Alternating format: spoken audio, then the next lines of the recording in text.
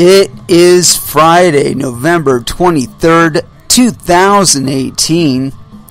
It is 8 p.m. Pacific Standard Time, and so you know what time it is.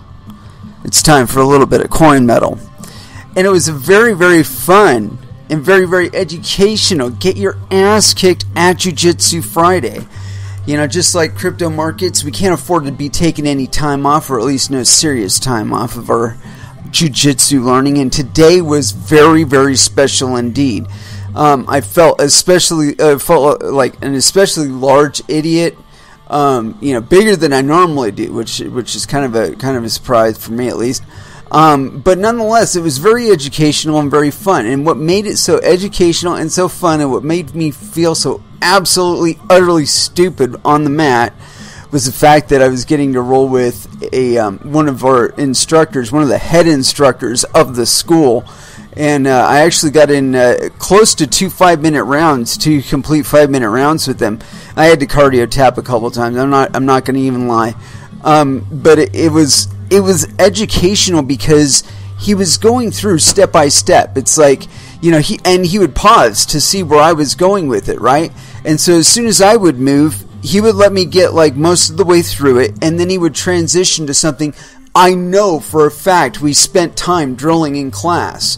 Every single thing he applied on me, I know for a fact we we did we did time in class on. So it was like a, a flashback of classes and you know it, it showed me a couple things that, that I really really really really need to work on and I have this really bad habit of letting myself get flattened out.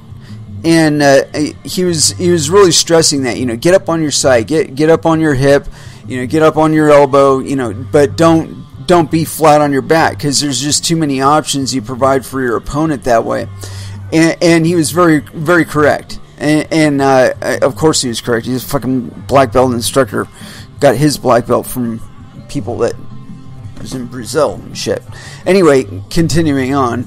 Uh, so, like I said, it was very, very educational, and plus, got to work this really, really neat way to an armbar today, and uh, I, I, I feel like if I, um, if I were to spend enough enough time on it, that that, that would definitely be one of my default ways to be getting people into that armbar because my my tendency is to push for side control, you know, top side side control, um, and then try and transition to full mountain, so on and so forth. But anyway, my my tendency is to lock lock down that that uh, top half guard or not half guard, but um, top side side control really, and uh, just just concentrating on maintaining control there. And so having a nice easy way to transition into a uh, a submission there, I, I, I think would be very very good for me.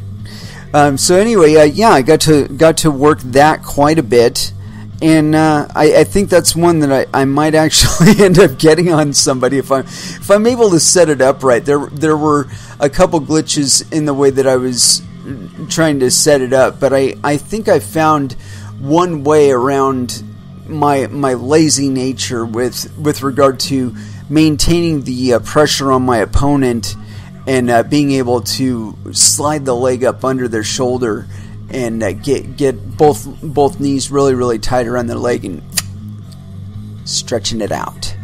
Uh, but anyway, yeah, like I said, very very fun, very very educational.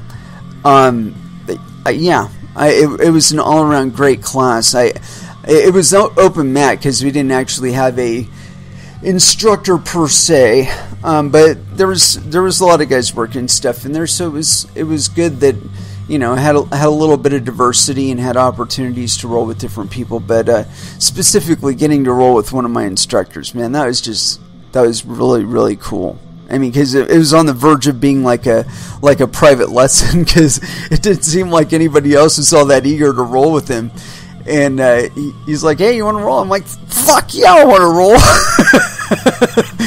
so yeah, I um, I wish I would have had a, uh, little better like mindset as far as what I wanted to work specifically with that open mat. Because you know I'm, I'm sure that you know given the time that we had available that I probably could have found something that I really needed to to work on. And and I think I did you know, inadvertently with with the instructor. So, uh, yeah, it was like I said, altogether good, fun open mat session, and uh, yeah, I think I'll be. Uh, I think I might actually go back in tomorrow just to drill, if nothing more. You know, I, I've been feeling the need to expand my attendance at least by one more day. You know, getting in four solid days a week instead of just three.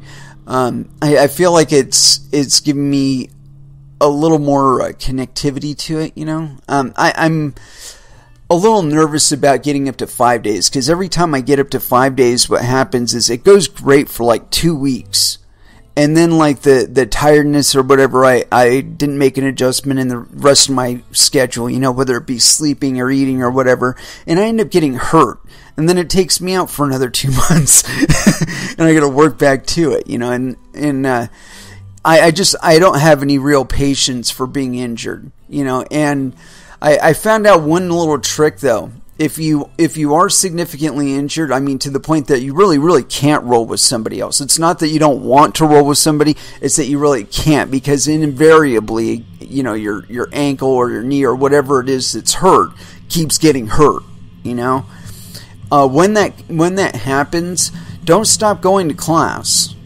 I, I found this out the hard way that the, the best way to go about it is still attend class, do whatever warm ups you can do you know, and if you can't do the warm up that they're doing, do something else instead that you can do. Like, you know, if it's if it's something with your shoulder and every time you do shoulder rolls on it it hurts, right? When they do shoulder rolls, do another set of, of shrimps or something like that. But don't stop moving. You know, and then while they're they're drilling, either drill the thing that they're drilling if you can, but if you cannot, step off to the side, do some sit-ups, do some push-ups, do something that you can do instead, just trying to keep your heart rate up, right? And that, that way, when you are coming back, a lot of times you're going to find yourself actually stronger on the mat if you do allow yourself that time to heal as well as continuing your practice. I mean, because I, I always found out that, like, if I did take any time away from the gym, like, you know, I just, I didn't go there, right? I, I would immediately fall off this really, really steep cliff that was a pain in the ass to climb back up again because you know I'm not climbing it on on the nice little trail that's carved out. No, I'm climbing it you know straight up the face back up to the top again. So rather than losing it, right? Spend the time chipping away a nice easy trail from where you're at and walking back up to the top again. It's it's a much better way to go. But th- there's a specific thing that you have to do in order to keep yourself in line with this because if you're anywhere near jujitsu, if you're if you're near two people doing jujitsu, you will want to do jujitsu. You'll be, you'll want to roll. You'll be like, oh, dude, I, I, come on, I can just get in a nice light roll. And next thing you know, you're injured again, and you're out for at least another week, if not two. So, the way to go about it is this do not wear your gi top. Wear a hoodie. Because if you're if you're in gi jiu-jitsu specifically, when they grab onto the hoodie, it's going to start to stretch and, and tear and whatnot, and, and you you cannot roll in the hoodie. You know. Now you you know gi guys. I'm sorry, you, have already gotten rid of the rid of the gi. Um, but yeah, I, I, would imagine the same thing if you were to go in with a hoodie on, you know. And, and there's a couple reasons for this. Is like you're, you're not you're probably not going to be as active as you would be in class if you were continuing to roll, right? So if you wear a hoodie, you will sweat more from whatever you do do, and it, it'll also keep your temperature up and keep you sweating. And that's that's really the thing is that you know, you, you lose the muscle really, really quick, and you lose the agility really, really quick. But I, I did get one compliment from the instructor though while we were rolling. Is he said, "You kind of scared me there. Whenever, whenever you kind of really get rolling, kind of scared me there." I, I, I definitely took the compliment to heart. Felt very good. Thank you, coach. Thank you, coach. anyway, let's go ahead and throw down into some music. I'm feeling the need. You know, I got myself all jacked up thinking about jujitsu, and, and and really, it was probably like the the most information packed and like fitness oriented that I mean because he had me gassed out. Like I I, I literally cardio tapped twice just because he kept kept gassing me out you know and and it, it, it was causing me to reevaluate where I was holding my my grips you know because I, I I have a tendency to hold them too long you know whether it be with my legs or my arms. And and that kind of thing can tire you out you know. It's like as soon as it becomes non-viable you know you don't you don't have anything in the next position in mind that that particular grip is going to apply to let it go. Let it go. Transition to the next thing that you're working towards or that you were thinking about working towards but whatever you do i mean even if it's just pulling your arms back in you know and and guarding your neck and shit you know um, that you, you want to go ahead and disengage that that activity Anyway, as I said, let's go ahead and get into some music. And, you know, it's got to be body count. And I'm not going to do the ski mask way. I've been seeing a lot of a lot of shit talking out there, especially especially with as as the market has gotten where it's gotten a little cutthroat out there, you know? People starting to look at one another like prey, starting to start up disinformation campaigns and whatnot. And so here it is, a little bit of body count talk shit, get shot. First dance here on Coin Metal.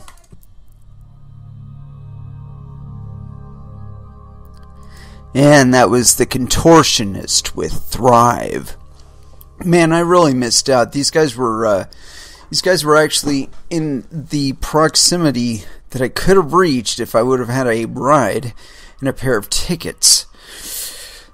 Unfortunately, that did not occur and I did miss out on getting to see them live in Portland. Oh well, hopefully there are. Uh, I'm sure there will be a, sh- a show that I'll, I will catch in the future. Um, but I, I, I, imagine these guys put on a really good show, The Contortionist. Um, anywho, I got a few articles that I wanted to get into here. And um, let's see here. What was the first one? Here. And, and oddly enough, the uh, first couple articles that we're going to get into aren't even like cryptocurrency focused uh, news media, and they're not MSNBC, at least not the first two.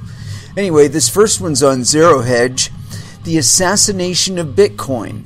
I, and just the name caught me. I, I, I, have to I have to do it. Anyway, uh, this one's by uh, Tyler Durden it was authored today, 11-23-2018, at 15 or uh, 1740 hours, so 5 o'clock p.m. somewhere. Thanks a lot, Tyler. Could have been more specific. Continuing on. As Bill reported last week, central banks are toying with the idea of launching a bank backed cryptocurrency. Dan believes the outcome is all but assured. Only one thing stands in the way Bitcoin.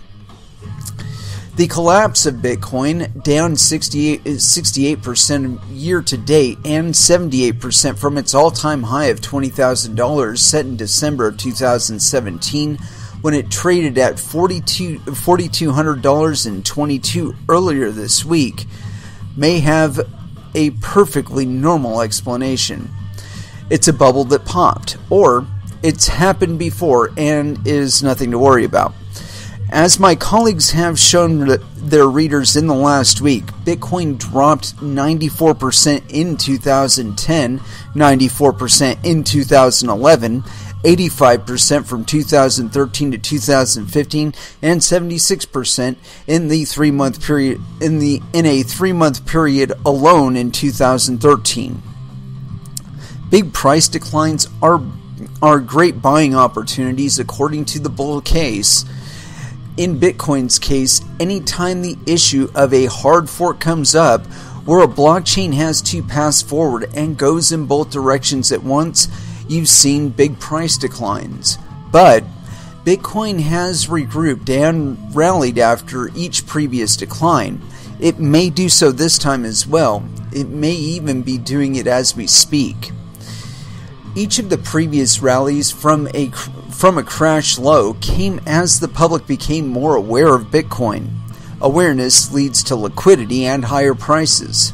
This time around, for example, institutional interest in cryptocurrencies could be the catalyst for Bitcoin to double from from here and then double again and again if some of the crypto evangelists are right. Crashes, crashes and corrections are normal for cryptos, right? So fucking lootly they are. That that wasn't in the article. That was my ad. Continuing. I'll leave the technical decision discussions to some of my colleagues who are more qualified to talk about them. They're important to understand if you're a long-term ho- holder, hodler of cryptocurrencies. Today I'd like to suggest another explanation for the crypto swoon, the assassination of Bitcoin by global financial authorities. Why? Cryptocurrencies have proven that there is an appetite for both a cashless digital payment system and digital assets. What central bankers and the world's financial elite have figured out is that Bitcoin stands the way in in the new financial order, um, in the way of this new financial world order. Yeah. It's an order where centrally controlled digital money promises complete political power over the lives and choices of billions of people. They're making their move to establish that order right now. Crypto evil uh, crypto is the evil spawn of the global financial crisis. A coordinated assault on cryptos took place over 3 days last week. Over those 3 days from November 13th to November 15th, Bitcoin broke through resistance at 63.30 and fell to 55.08 and then just kept falling. What happened, and in a moment, what happens next? the seven deadly paradoxes of cryptocurrency. The first broadside fired at Bitcoin came from Bank of England's blog, Bank Underground. Bitcoin is plagued by no less than seven fatal flaws, according to John Lewis of the Bank of England's Research Hub. Among these flaws is the fact that 97% of Bitcoins are held by less than 4% of addresses, creating a hoarding mentality that limits the liquidity of Bitcoin and its popularity as a payment option. Uh, that's not exactly what does it. Another, Bitcoin can only process 7 transactions per second. Visa does 24,000 per second. That's actually not a not a bad thing. Continuing on. Another Innovators who build on the foundation laid by Bitcoin will, by definition, improve and replace it. Not really. Its obsolescence and eventual destruction are the inevitable consequence of its conceptual success. Uh, that's a complete misread. And yeah. Uh, what what a lot of people fail to realize, and and we've covered this once before. This is, uh, I think it was a statement by Andreas Antonopoulos, and it was it was something to the effect of, you know, it doesn't matter how good the code is, it doesn't matter how good the devs are. What matters is, does the the miner double click on your exe and install it and run it? That that's what matters. So all of the all of the building on and all that other shit, you're you're building on quicksand. you know, it's it's never made sense to me to transact abstractions representing volumes of Bitcoin when I can just as easily be transacting the Bitcoin itself. I mean, Bitcoin is digital. I, I don't give a fuck if it takes me a couple hours to get my first confirmation. It's digital, and it's light years faster than any bank. You know, they, they take shit on credit, and and they're they're insured if it fails. We, we don't have that luxury. Your payment fails, man. People are bitching. It's it's losing you market share. We don't have that luxury here. You know, it's it's something that people forget about the uh, the risk aspect of cryptocurrency. It's there's no guarantees here. Continuing on. Another innovator, oh, I'm sorry, another innovators who build on the foundation laid by Bitcoin will, de- by definition, improve and replace it. No, they won't. its obsolescence and eventual destruction are inevitable. No, it's not. Of its conceptual success. No, you you trying to mimic it is is a uh, consequence of its conceptual success. Actual, and not not its conceptual success, its real success. Bitcoin's been running for ten years. It's still running. You know, I, I don't know if you noticed that or not. Anyway, continuing on, the case for a new digital currency. yeah, whatever. Central banks should create digital currencies and play a critical role in the global payment system, including the settlement of transactions, argued International Monetary Fund President Christine Lagarde in Singapore on November 14th. It was a subtle argument in its focus on potential public slash private partnerships between commercial banks and central banks. But the important point is that Lagarde publicly floated the idea that central banks, not the private sector, should create and manage digital currencies.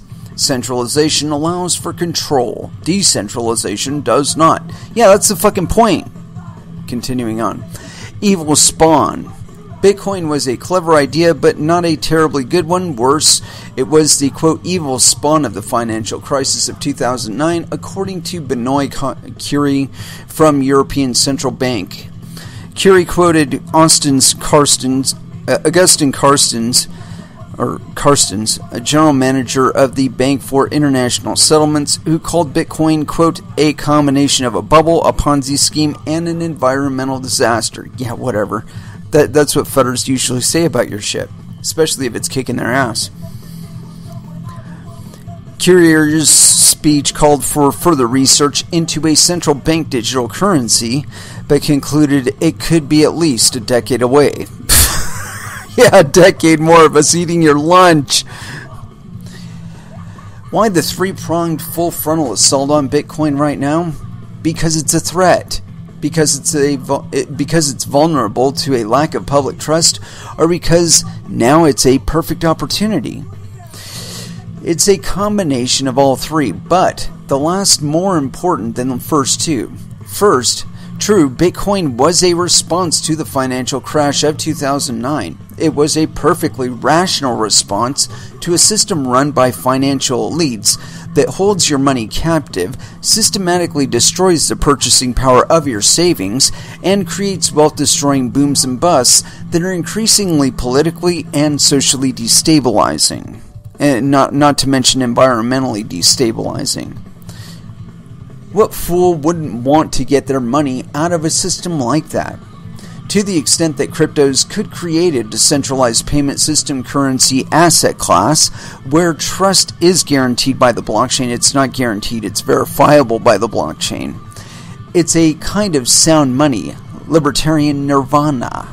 Uh, more like anarchist nirvana.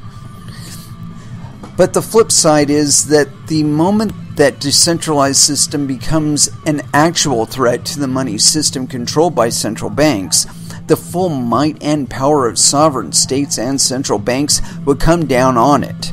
That's what's beginning to happen now. No, actually, that that's been happening for a little while, and I think they've kind of they've kind of resigned themselves to to us being being here, and, and so they've been kind of trying to mimic us instead of stamp us out. Continuing on.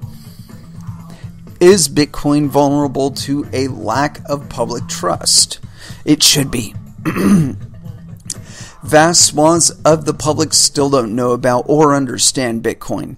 The interest it has attracted in the last year is largely speculative.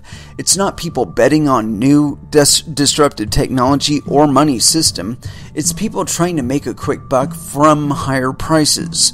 And by the way, you still have to sell back into a fiat currency to make a buck yen, pound, or euro.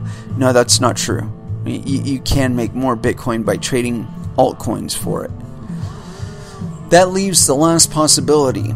Last week's attack on decentralized cryptocurrencies comes when the price action is bearish anyway. It also comes as central banks are ready to advance all the all the benefits of a central bank digital currency. Central banks aim to capitalize on the budding popularity of cryptos and then harness it for their own ends. So what are their own ends? The war for control of digital money. The financial elite took its attack on cryptos to the front pages of the paper this week. Economist Nouriel Roubini argued in The Guardian for a central bank digital currency that replaces the current payment system and the money creation function of commercial banking, although not the lending, which would be fully funded from 100% reserves. Bullshit. In Roubini's version of a central bank digital currency, CBDC, there is no blockchain technology at all. It's not scalable, cheap, or secure, he argues. And in his version, decentralized decentralization is to be avoided. Centralization is a desired and necessary feature for monetary control. Yeah, that's why we're not going to use it, fuckface. There's just one problem. What role do the banks play? You know, the banks that run Wall Street and control the Federal Reserve System. According to Roubini, emphasis added is mine. Quote, the main problem with CBDCs is that they would disrupt the current fractional reserve system through which con- commercial banks create new money by lending out more than they hold in liquid deposits. Banks need deposits in order to make loans and investment decisions. If all private bank deposits were to be moved into CBDCs, then traditional banks would need to become, quote, loanable fund intermediaries, borrowing long term funds to advance long term loans such as mortgages.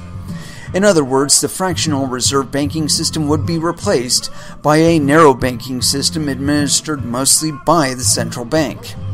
That would amount to a financial revolution one that would yield many benefits.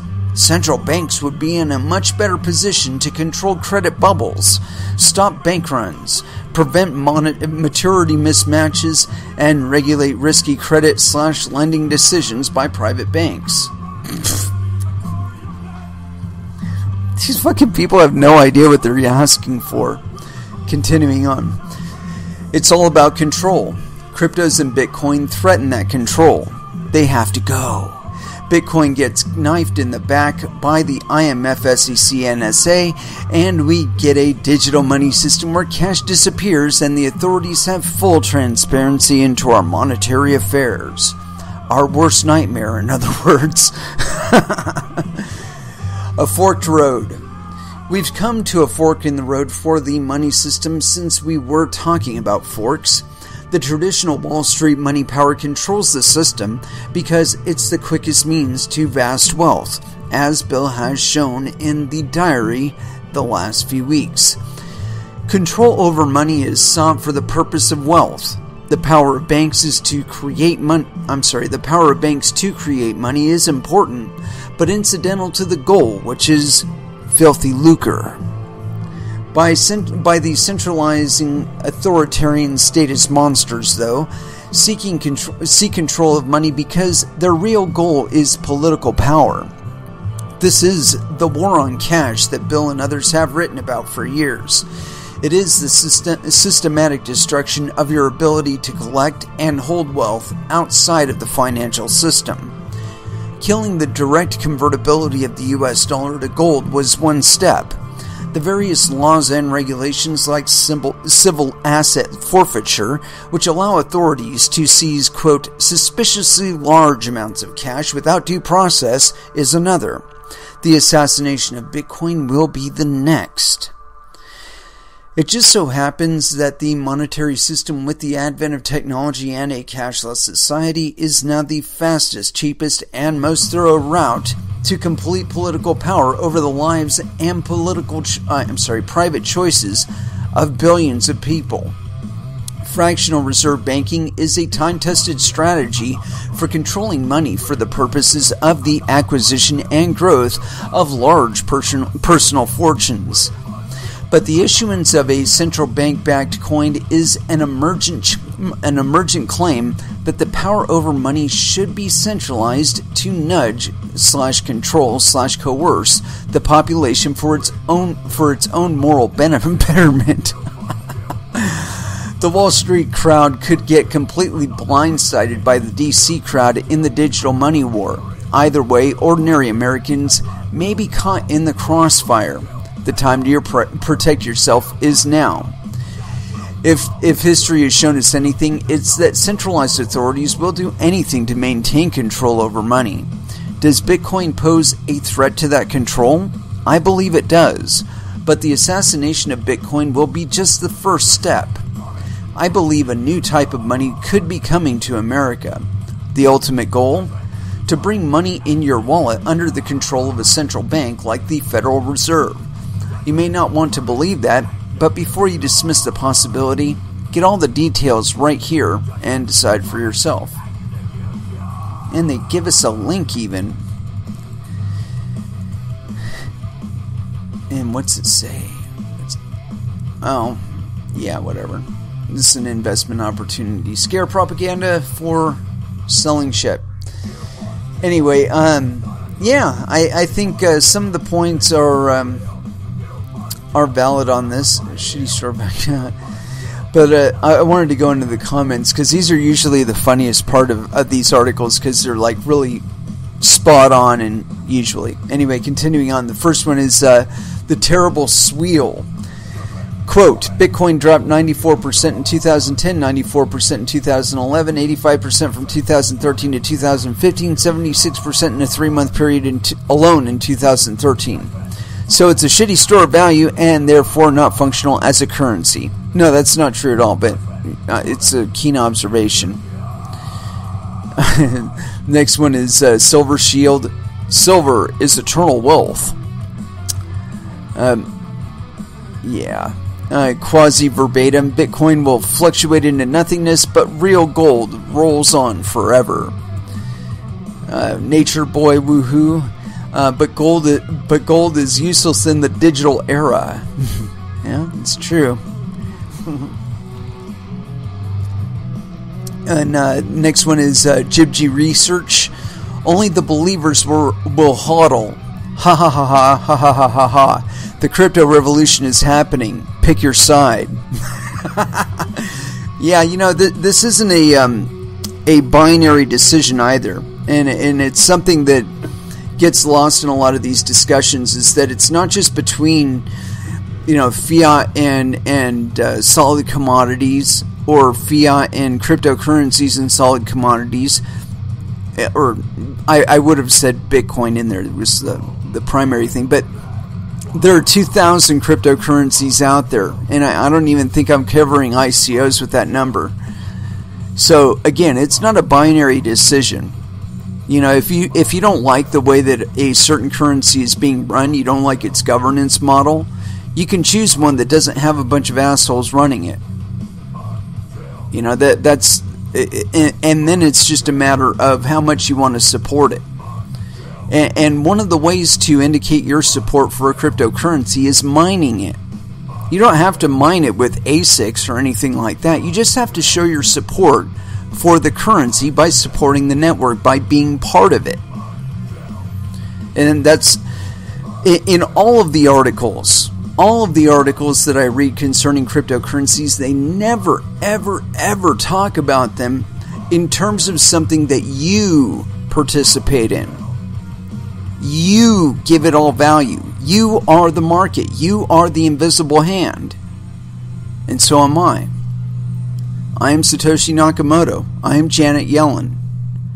You know, all of these terms have been kind of leveled out. They're, they're kind of equivalent now that uh, we have these open source alternatives to centralized banking. Open source alternatives to centralized banking. Can, uh, can you, like, internalize that? Open source alternatives to centralized banking.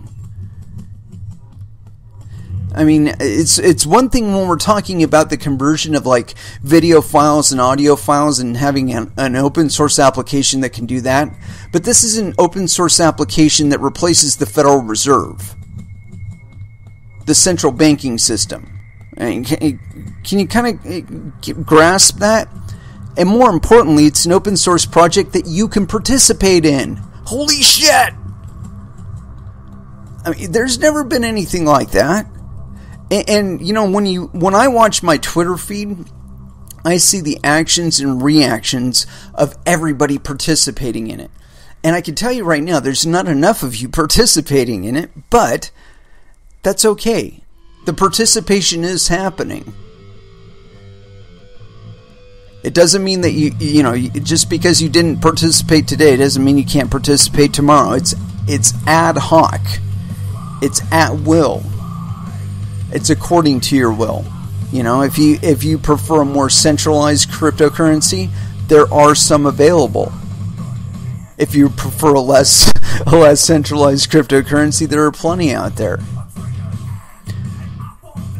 But the the importance of what they're talking about in this article is they're they're covering it from a kind of a uh, kind of an epithelial layer kind of kind of concept here that they're talking about the action and flow of the transition between a a world where you only had so many tools to convey your political will. And, you know, you you buy um, you buy Nikes instead of Reeboks not only because you know you you prefer the the feel of them, you know you you just like the look of them a little more. You know, there's there's something to it that you value more. It gives you a way to express your your preference. And then you hear that Nike does slave labor, and you're like, ah, no, I'm going to find somebody else that provides me a product that's just as good, looks as good as Nike, but it's not produced by slave labor. That again is you expressing your political will.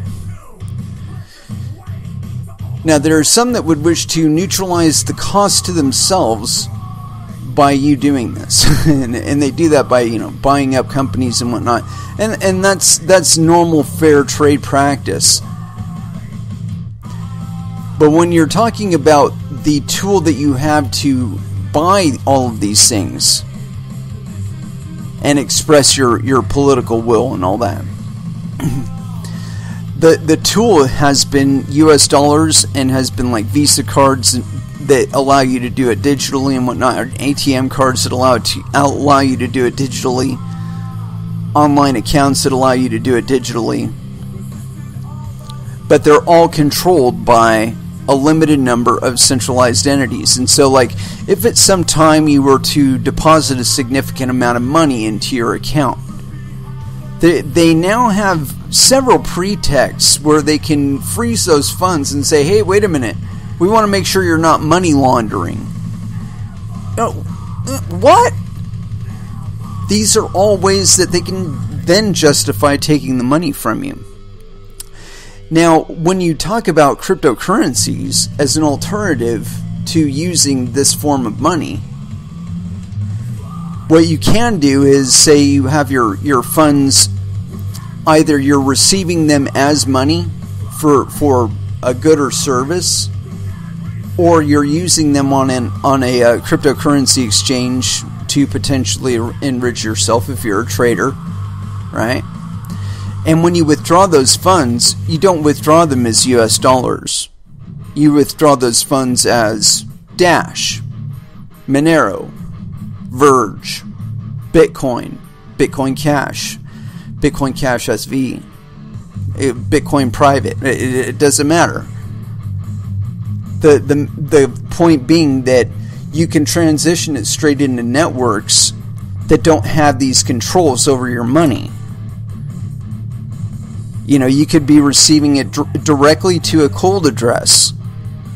You know, a, a you know a, a, public address for a cold wallet, and and they're not no, none the wiser on the other end.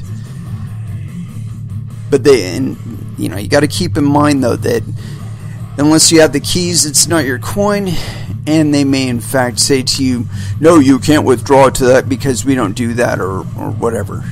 But that's that's one of the risks that you face by using cryptocurrency exchanges and or other intermediaries is that that's a choke point for your money. That's a point where you could be taxed where you could be feed where you can be anything where somebody could give you less money than you're actually due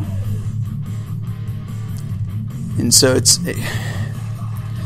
it's very important in this age with these tools that you try and liberate yourself as much from that as possible.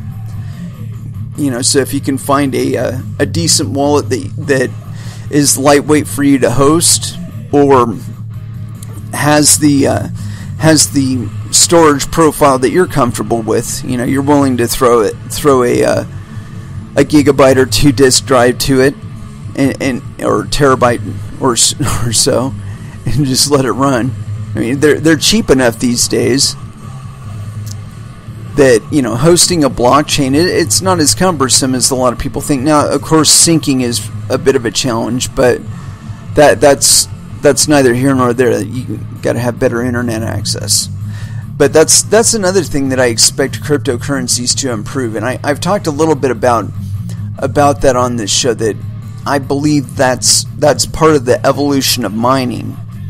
That it's going to incentivize the development of infrastructure for both internet and electrical out to more remote regions. And that's that's just going to improve life for everybody, I think.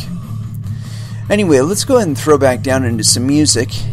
And I hadn't had anything picked out, but fortunately, I have a whole bunch of new stuff on here, so I have just plenty to pick from now.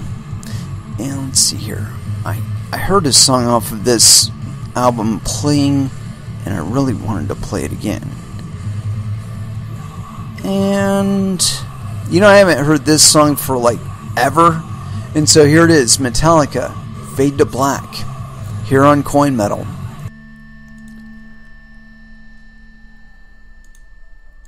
And that was Clutch with How to Shake Hands.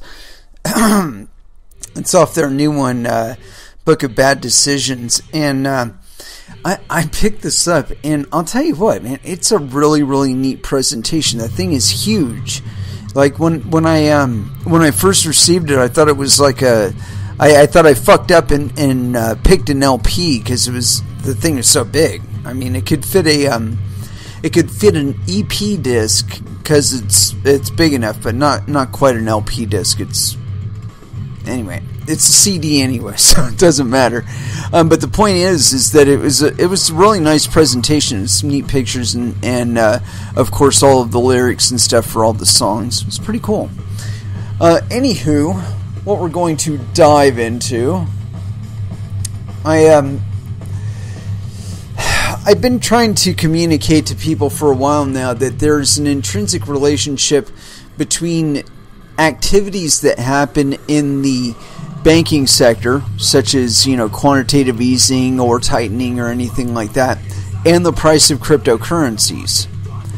And this is this is still true. It's not, nothing has changed about this, and so um, considering what's going on with Bitcoin as far as the the current price action and all that, got this one here on Bloomberg. Dollar funding squeeze set to get worse after basis swap blowout. This is by uh, Katherine Greifeld, uh, November 21st, 2018, 4 a.m. PST. Upda- updated November 21st, 2018, or 2018 at 3 p.m. PST. Okay. So, no, no penis. Dollar funding strains took center stage earlier than normal this year, and if the recent past is any guide, the worst, the worst of the squeeze is still yet to come. Further efforts by banks to shore up their balance sheets are likely to exacerbate a year end shortage of the U.S. currency in the financial system, according to firms including Bank of America Corp and TD Securities. That's even after three.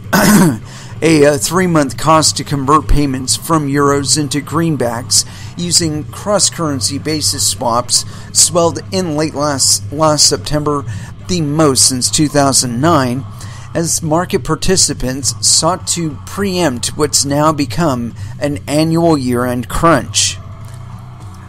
The dash for dollars is set to reverberate across the globe, making it costlier for companies and banks from Europe to Japan to source the liquidity they need while affording investors with U.S. currency to spare the chance to turbocharge overseas returns.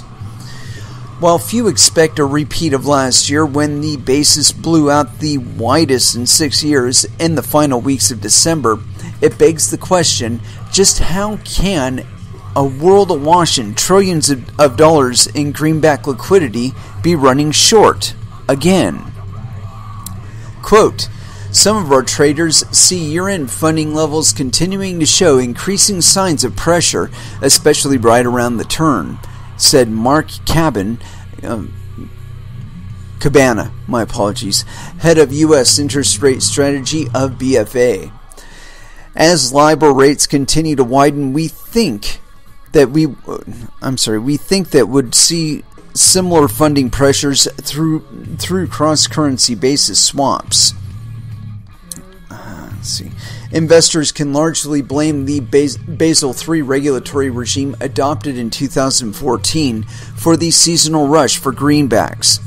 As a result of new capital requirements, global system, systematically important banks, or, or GSIBs, now tend to dramatically reduce their dollar lending activity in the closing weeks of the year, mostly in an effort to lower their surcharges. The result is that firms such as JP, JP Morgan Chase, Citigroup, and Morgan Stanley, among the world's largest lenders of dollars, are holding or hoarding greenbacks before they report their balance sheets. Quote, there's a real disincentive for some of the largest uh, some of the biggest banks to lend out dollars over the turn of the year, said Gennadiy Goldberg, senior U.S. rate strategist at TD Securities. Quote, it's a profitable trade for them to do throughout most of the year, but by the end of the year, they will, in essence, try to pair some of the activity to get more favorable regulatory treatment. Prior to 2014, abrupt widening episodes were primarily confined to periods of extreme risk aversion such as in the 2008 such as in 2008 after the collapse of Lehman Brothers Holdings Inc. and in 2011 amid the eurozone debt crisis funding frenzy on the other side foreigners have been left holding the bag multinationals are forced to pay up for routine business operations such as hedging their FX exposure however or more moreover overseas firms tend to window dress their balance sheets too. That can be a costly undertaking given the proliferation of dollar denominated debt overseas, according to P- Peter Cecchini. Yeah, Caccini, chief global market strategist at Cantor Fitzgerald. Quote, Financial institutions in Europe need to convert euro denominated convert euro denominated assets into dollars in order to match dollar denominated assets and liabilities, Caccini said. In addition to banks, global bond investors are also feeling the strain. One consequence of the dollar shortage is that hedging costs become more expensive for European and Japanese investors. Benchmark 10 year Treasury yields have dwindled to minus 0.22% or 0.22% for yen based buyers, protecting against currency swings. For European buyers, it's even worse at minus 0.35%, near the lowest this year. The sky high hedging costs have, have investors such as Bill Gates and Jeffrey Gundlach suggesting that warning foreign demand, um, waning foreign demand for U.S. debt could help drive yields higher. Yet, for those willing to lend out their dollars, the surge in demand means that there's never been a better time to invest abroad. US based investors can lock in historically high returns in Europe and Japan after hedging their bond purchases, even though yields in the two markets are among the lowest in the developing world. Market risks. Signs of dollar demand are already cropping up elsewhere. The gap between the three month London interbank offered rate and the overnight index swap rate, another gauge of global, do- global dollar funding rates, has risen to 33 basis points from a low of 17 basis points last month. and the rates on the 30 and 90 day AA rated financial commercial paper continue to climb as issuance by foreign banks looking to secure funding over year end seemingly outstrips demand. Hmm. The December squeeze could be more painful than expected if the current turmoil in equity and oil markets worsens as U.S. trade tensions continue to linger. TD's Goldberg says that the seasonal greenback shortage could potentially aggravate any bouts of risk aversion in which banks are wary of lending dollars. Quote, Let's say there's a shock event, there's an enormous risk off move, and investors are scrambling for safe havens, trying to raise dollars to shore up their holdings, Goldberg said. It's ex- an extremely diff- difficult environment to do that. yeah. so, you know, as far as I can read into this, this is what. This is one of those issues with having centralized banks in control of the money supply is that they can adjust the monetary volume in, in anywhere that they're servicing. It's like, oh, we want to loan these people more money, but we don't want to lend these people more money, you know? And they they adjust the rates accordingly to their their own concept of appreciation or return basically. And you know, I mean, it's it is in their interest to act in their best interest, but at the same time, it's costing somebody else. You know, there's there's no free lunch. You know, everywhere that they're able to squeeze a little bit more out, that's less that's going somewhere else. You know, when you're when you're printing up QE and it, it depreciates the value of your fiat currency per per unit, that that directly impacts everything that everybody buys with those units. And you know, that's not one of those things that's going to be solved with a quote unquote cryptocurrency being printed or issued by a centralized authority. You know, the, there's this idea that the there's a problem with cryptocurrencies, and, and it's that we don't have kings and presidents and whatnot dictating to us what monetary policy should be. And I, I think that's a uh, that's a big misread. You know, because the fact of the matter is is that this industry has been pretty pretty much self-propelled. I mean, there's there's been uh, some institutional investment, and there there has been VC funding, but much more of the quote unquote VC funding is being crowdsourced from individuals such as yourself and me and that that isn't a little bit different dynamic because those aren't funds that are you know somebody's retirement fund or something like that. And there's not a whole lot of choice as to where the monies are actually dedicated. They're monies that you dedicate to a specific goal to a specific project.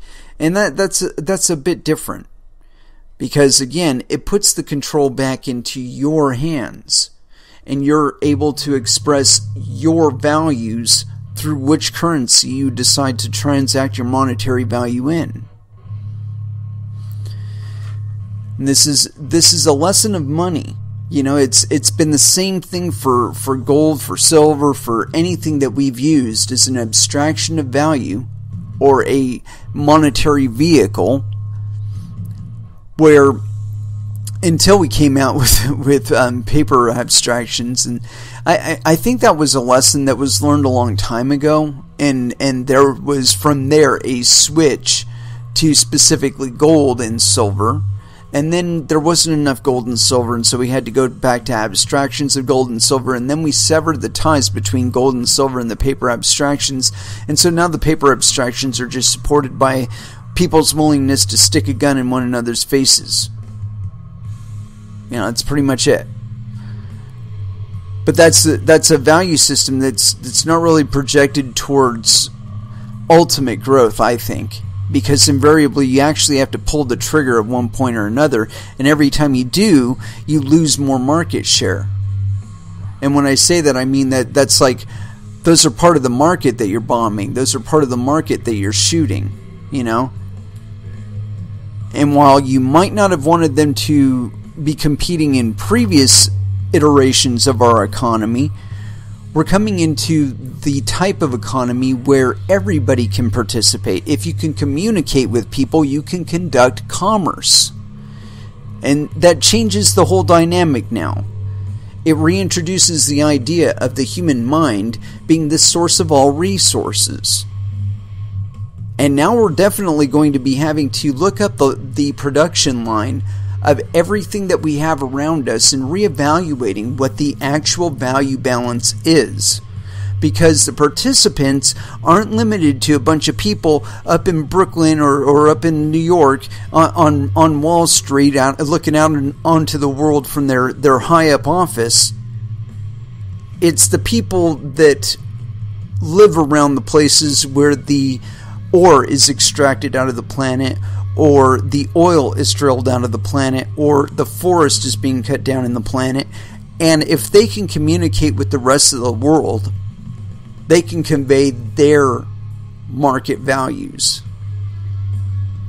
And it's a much different dynamic than, you know, again, somebody in New York trying to decide, you know, a wild fish and wildlife policy, or somebody in D.C trying to determine fish and wildlife policy for some some area 3000 miles away that they don't have any affinity with they don't have any loyalty to they don't have any relationship with. You know so they they don't feel the direct impacts you know when somebody's bitching to them no don't put the fucking river into a bottle and sell it back to me because it impacts the environment around me they don't really feel that. They but they do feel the $50,000 that's in their bank account because Nestle or somebody other's lobbyist came to them and said, hey, dude, vote this way and I'll give you a whole shit ton of money. You know, they, they feel that more directly. But you know, when those people aren't the only sources of monetary value, when the sources of monetary value is some some miner out in the middle of Montana loves nature way more than skyscrapers and he's got a shit ton of monetary value in a cryptocurrency that nobody else knows he has. And he can come to you and say, hey, guy, vote this way on this bill. Here's $50,000 in worth of a cryptocurrency that nobody else will know you have. And think about that. I mean, what what's better for a, a politician the money that nobody else knows they have. They can dedicate that to all kinds of little ventures that help them along. Some of them might actually even help you, the constituency, but only if you ask for it, of course. But anywho, yeah, that's that's basically what we're doing here in cryptocurrencies is allowing you other options to be expressing your political will. But of course, we haven't been treating cryptocurrencies as currencies. And so there's been a lot of a lot of fuckery because people misunderstand this this choice and this power that they now have. It's not been made clear enough to them, I think. And honestly, I believe that's because a lot of the talking heads that have been in front of Bitcoin and other cryptocurrencies have not been stressing the fact that you are the network, you are the market. No you, no network, no market. That that's that's how this shit works. You know, they've been trying to convince you that it's like it's us. If there's no us, then there's no market. No, no, no, no. You're just one little segment. The devs and whatnot, you're just one little segment. You present options of iterations of coins for us to run and, and mine. And if we don't like it, we won't run it. We, we, we won't mine it. But if we do, we will. And if it's good enough, enough people will use it that it can actually compete with the likes of Ethereum and Bitcoin and Monero and Verge and other coins that have been ex- in existence for 4 years. But one of the things is you can't you can't look at it in terms of trying to force people to do things because invariably your your forms of coercion will be seen as detractors from utilizing your product. And the more force you try to exert on people, the less they are going to want to use your coin. Because it's evident that you've got a big ass cage in front of them and you're like trying to tempt them into the cage with a carrot or something like that. You know, eh, but you know, we're, we're, we're coming to the fact that there are plenty of cryptocurrencies out there that aren't cages. And so the, the choice then becomes why crawl into a cage if you know it's a cage and that conditions can change? You know, they could be promising you the world up front, but conditions may change. You know, Bitcoin might not be over five figures, and the ship might fall out of the bottom of the market for a little bit. And you might be left holding the bag for, for a substantial period of time. And if you're not prepared to do that, well, fuck, you're in the wrong game, kid. you know, we're not gonna we're not gonna exchange the entire world world economy over to cryptocurrencies overnight and to expect that we will is just silliness. And to expect that you're going to be able to force or coerce the, the market to act exactly as you wish is just action against yourself. Ultimately, you'll be burning old, your own ladders for later on. So it's good to keep the ladder down there, you know, just in case you fall off the top. Continuing on, I got this article here on uh, Coinspectator.com. Ethereum. Ethereum token hit by malicious gas token minting attack. And I want to refresh this just to find out how, how old this is. Uh, this is published 11 hours ago by Alexis. Um, no indication of penis or otherwise. No link to a profile, so we're just going to roll with it. An Ethereum vulnerability has been uncovered by Level K, a smart contract and Ethereum based decentralized application developer that could easily allow, essentially allow, an attacker to mint large amounts of gas tokens when receiving Ethereum. The vulnerability announced yesterday in a blog post was discovered last month on the 30th of October, but was just announced yesterday after Level K had made sufficient efforts to notify vulnerable parties, which are main, mainly cryptocurrency exchanges that affect transfers of Ethereum and Ethereum based tokens, such as those based on the ERC20 and ERC721 standards. In explaining the vulnerability, according to Level K, the vulnerability could be used in two ways to benefit, benefit a nefarious user. Quote, an attacker can perform computation in the fallback function of the contract that receives Ethereum from the exchange or in the transfer functionality of a token listed on the exchange. With the ability to make the exchange pay for large amounts of computation, an attacker can either drain the exchange's hot wallet simply by burning gas or mint gas tokens for a potential profit. Level K uses the following example excerpt. Quote, in the simplest exploit scenario, Alice runs an exchange which Bob wants to harm. In addition, if Bob also wants to make a profit, he can mint gas tokens in his fallback function and make money while causing Alice's wallet to drain. According to Level K, the warning was not, was not just directed at cryptocurrency exchanges, but also individuals who could be sending crypto to smart contract addresses without reading the contract code. In the blog post announced level, announcement, Level K had contacted a vast majority of cryptocurrency exchanges earlier last week to ensure that they had effectively patched the vulnerability before making the discovery public. By the time of the announcement, Level K reported that all of these exchanges had responded to the warning notification and patched the vulnerability. Uh, let's see here. Yeah. So there you have it. And, and apparently, there's more to this article. Read in full here. Let's see where we were at in it. Because uh, apparently, that was like aggravate, aggregated from another place. Okay, so they have patched the vulnerability, supposedly. Yeah. I, I think that's one of the dangers of building your stuff on top of other people's stuff. is that there, there's all kinds of little exploits that are endemic in them. You know, some of them are actually intentional. I, am one of the ones that I'm expecting to get hit, but not until it's actually worth a few billion. Is um, oh, what's that one? Fucking Bancor. That one is is just dodgy in my opinion.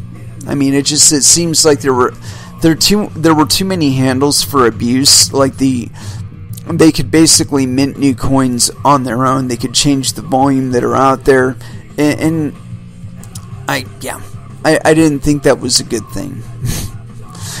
I, I think that if you're if you're going to offer up or make an offering, that you need to be sticking to the parameters of your initial offering. And now, now there are certain not certain things that you could change, you know, such as like block size. I, I think that's something that you should be flexible on. And there are minimal trade offs, but again, it depends on how big and how fast you're increasing the, the uh, volume capacity of your cryptocurrency.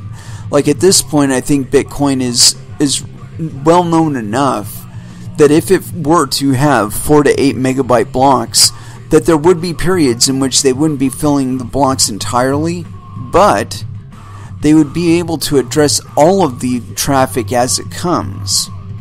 And it would make it a much more effective payment payment means than some are wishing to make it.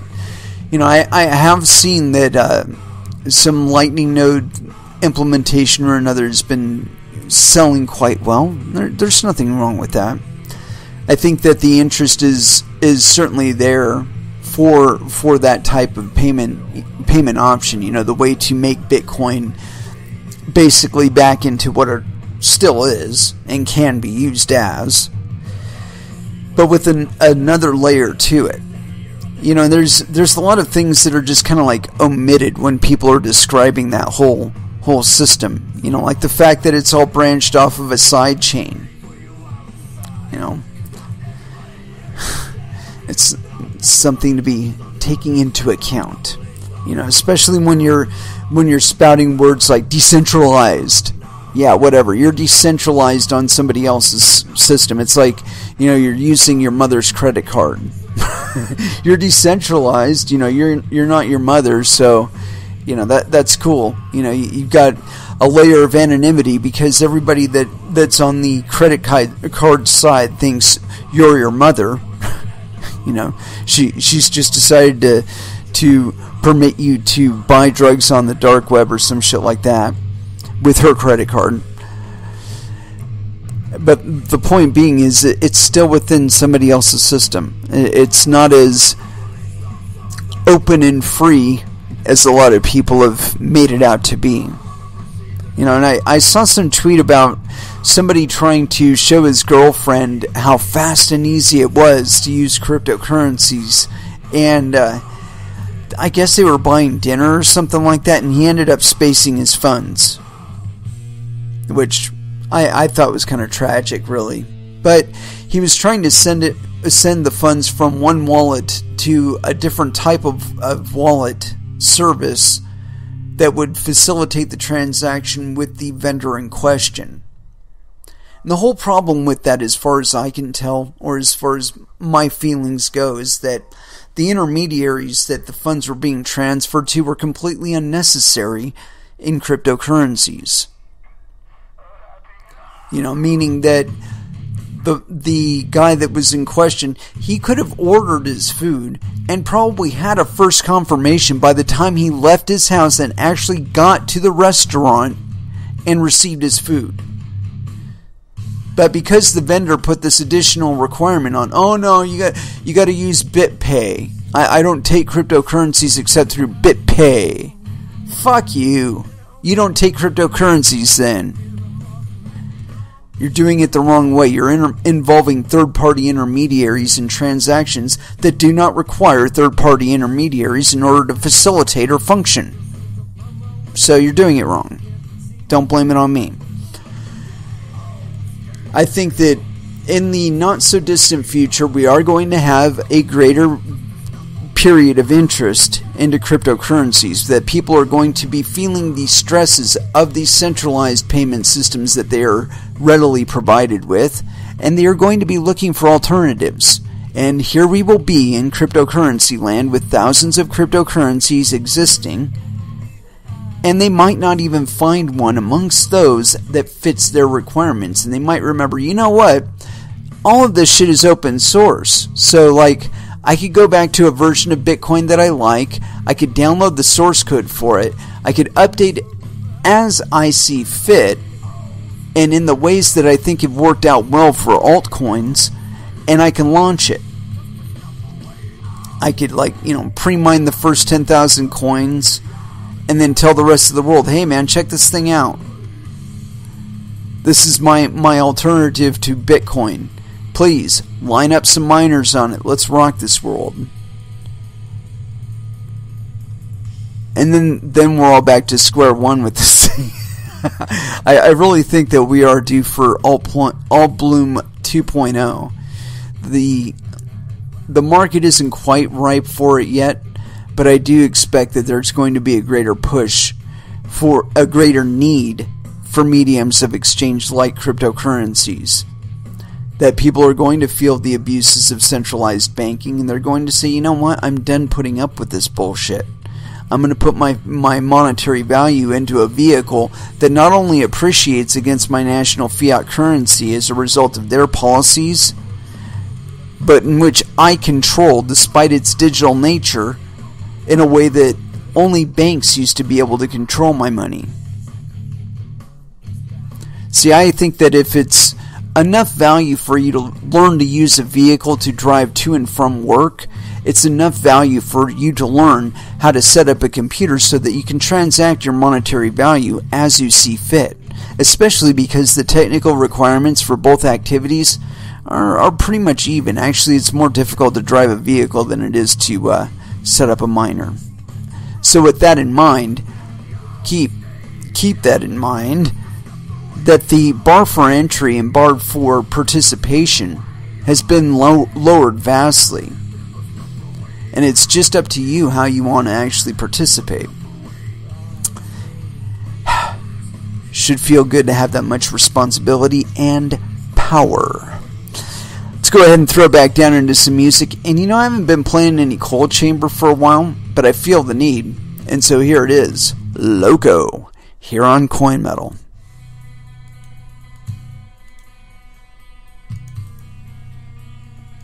And that was 12 Foot Ninja with Coming for You. Yeah. And it is with that, we're kind of rounding out this episode, getting to the end of the end of the end here. Nah, I just like to stress, you know, I keep I keep focusing on it because I really think that it is the the focal point of this whole movement or technology or anything like that is that we are moving into a world where the trust the the trusted individuals that we've had in in currencies and banking and whatnot have kind of exceeded their their trust you know, their ability to fulfill on that trust, I think. In many cases, we've seen where malinvestment and uh, misappropriation has caused the growth of certain aspects of our economy or certain incentives in our economy um, that, as I said, are not able to fulfill on their initial promises. And uh, one one place this readily comes to mind is like retirement funds you know the uh, the fund managers assume that you're just going to continually be investing in them. And to some extent it makes it kind of like a ponzi scheme where they're guaranteed a certain level of income to some extent some guarantee right? So as long as the income coming in is exceeding the immediate exhale the immediate demand then then they're all right but we're coming into a time when the demands on on those funds are more than the money's coming in.